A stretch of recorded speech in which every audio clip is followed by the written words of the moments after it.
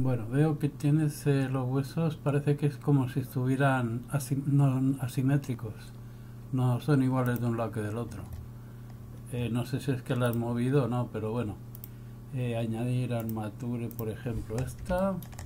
Si por lo que sea has movido una posición de un hueso, te ha quedado mal en comparación con el otro, lo que se puede hacer es una simetría. Selecciona todo, armature, simetría. Simetrice. Entonces, ha copiado de este lado a este. Es lo contrario, pues tienes que ir aquí abajo y cambiar la dirección.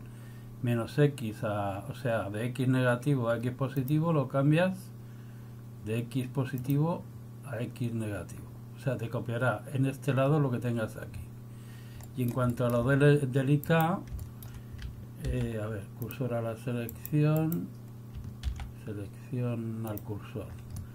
Esto tiene, para cuando haces las IKs tienen que estar muy bien puestas.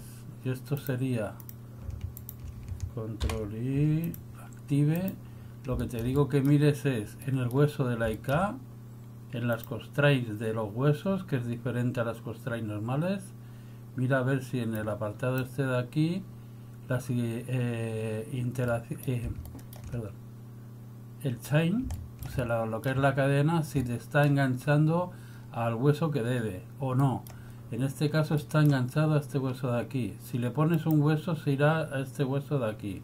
Si le pones dos, o sea, irá subiendo. No sé si se ve una línea por aquí. Y si le subes uno más, se iría al tercero, que es el centro. Y esto te crearía un problema. Entonces lo que hay que hacer es ponerlo al segundo, que es esta parte de aquí. En mi caso, tú depende cómo tengas la armatura, claro. ¿vale? Entonces ya sí que tendría que funcionar. Pues no muy bien porque está emparentado este hueso. Este hueso hay que desemparentarlo. Al más P, crear pared. Al más, al más P, crear pared. Ahora sí. Ahora tiene que funcionar. ¿Vale? La cadena. Tienes que mirar la cadena. La cadena es 0, tira al hueso principal. 1, tira a este hueso de aquí. Uno. Tiría este hueso de aquí. Y entonces solo te haría el movimiento de esta, de esta posición.